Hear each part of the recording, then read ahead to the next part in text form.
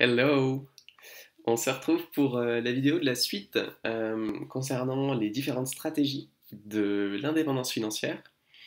Euh, on a vu une vidéo précédemment sur le Lean Fire, c'est-à-dire vraiment la, la, conception traditionnelle de l'indépendance financière qui vise à vraiment maximiser son épargne à tout prix pour en même temps réduire le montant que l'on veut obtenir de manière à atteindre l'indépendance financière le plus tôt possible.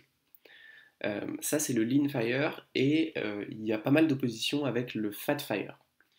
Alors, Fat Fire, c'est un petit peu différent puisque euh, on ne va pas, la métrique que l'on va chercher à optimiser, ça va pas forcément être prendre sa retraite le plus tôt possible, typiquement vers les 30-35 ans, mais ça va être plutôt de maximiser le niveau de vie que l'on va obtenir pendant notre période de préservation.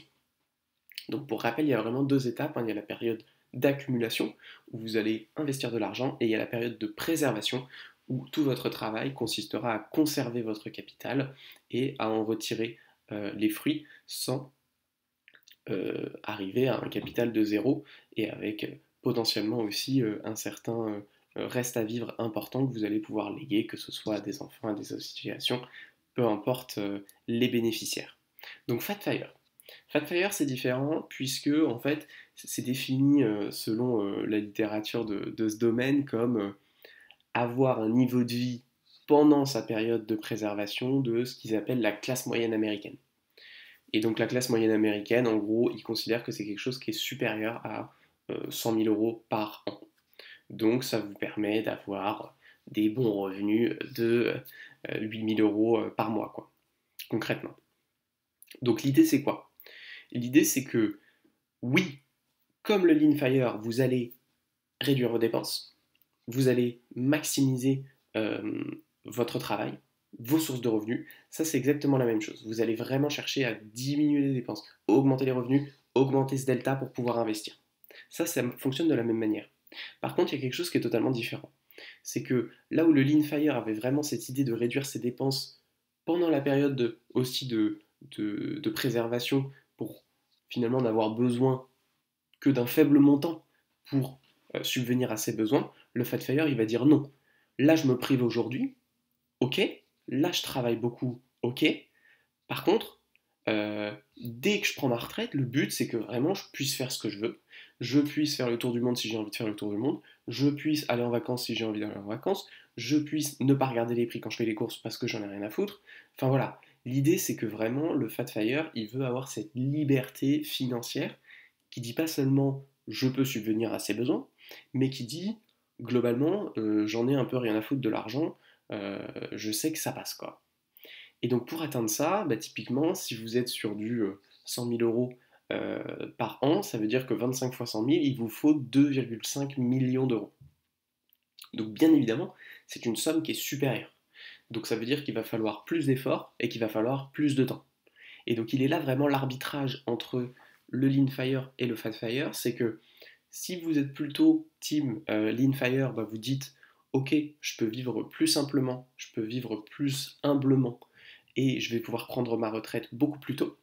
Alors que si vous êtes fat fire, vous dites non, ok, je peux prendre ma retraite à 40 ans, 45 ans, 50 ans, 55 ans, il n'y a pas de problème.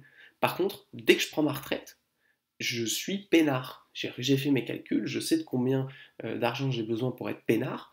Euh, donc voilà, il n'y a pas de problème. quoi. Euh, et ce qu'il faut comprendre, c'est que la stratégie Fat Fire a un avantage par rapport à la Lean Fire, c'est que vu qu'elle n'est pas tant sur cette volonté tout le temps de réduire l'âge de départ à la retraite, alors elle peut profiter beaucoup plus facilement des intérêts composés. Alors que le Lean Fire, bah, effectivement, quand vous, avez 10 ans pour investir, pour atteindre votre objectif, bah, en fait, les intérêts composés, n'ont pas tant le temps de travailler que ça. Alors que si vous avez 20 ou 30 ans, eh bien, vous profitez beaucoup plus de cette force qui vous permet d'atteindre des grosses sommes d'argent. Euh, parce que c'est ça qu'il faut comprendre, hein, c'est que euh, si vous faites des simulations entre par exemple du Lean Fire qui va vous dire bon bah voilà faut un million ou euh, une simulation Fat Fire où il va vous falloir 3 millions, euh, il vous faudra pas trois fois plus de temps pour obtenir 3 millions que pour obtenir un million. Ça, il faut bien le garder en tête quand même, parce que voilà, je veux pas faire un faux procès au Fat Fire. Moi, c'est pas ma vision de vie, parce que c'est pas mon idéologie et, que je veux pas me définir par la consommation et que voilà, je, pense que il y a de vrais bénéfices intérieurs, psychologiques et spirituels à vivre avec moins qu'à vivre avec plus. Mais si vous n'êtes pas d'accord avec ça, il n'y a pas de souci.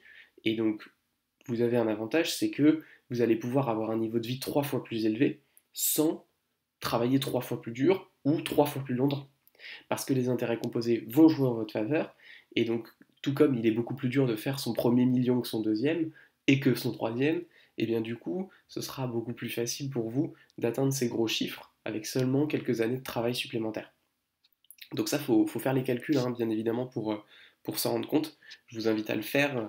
Euh, je pense que ça n'a pas beaucoup de sens de faire des calculs parce que euh, nécessairement, ils ne vont pas convenir à toutes les personnes qui vont regarder cette vidéo. Donc prenez le temps, honnêtement, hein, ça prend quelques minutes de poser des chiffres dans un Excel et de se rendre compte, ok, ça, ça me prendrait peut-être 15 ans d'atteindre un million et donc d'avoir un style de vie ok, et alors que ça me prendrait 25 ans d'avoir, je sais pas, 3 millions et du coup d'avoir un style de vie vraiment aisé. Qu'est-ce que je préfère?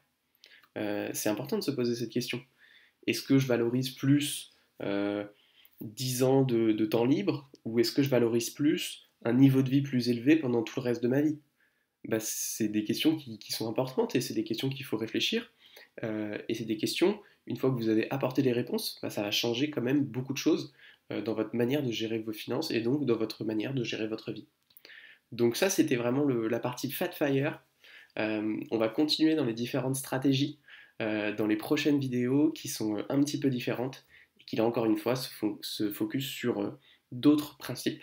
Donc n'hésitez pas à vous abonner pour voir les prochaines et à me dire en commentaire si vous, euh, la stratégie euh, Fat Fire, ça vous intéresse.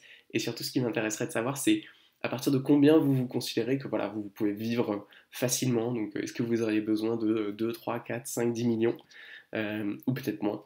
Je serais curieux de le savoir.